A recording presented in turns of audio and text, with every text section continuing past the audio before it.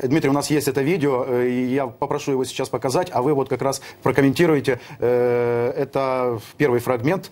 Э, Сейчас наши режиссеры покажут это видео, а вы продолжаете свой комментарий по поводу вот этой вот ФАБ 3000, да. Да.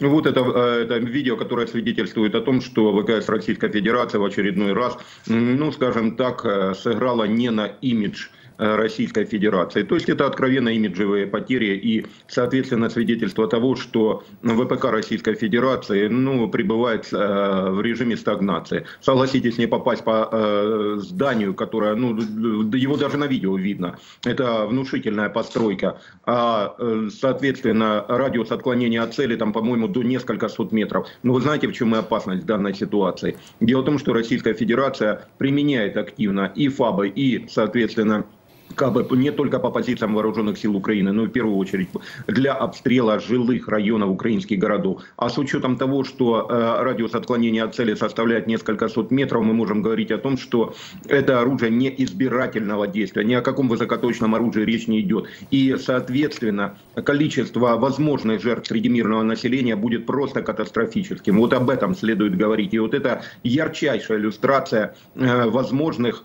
фактов международного терроризма со стороны Российской Федерации.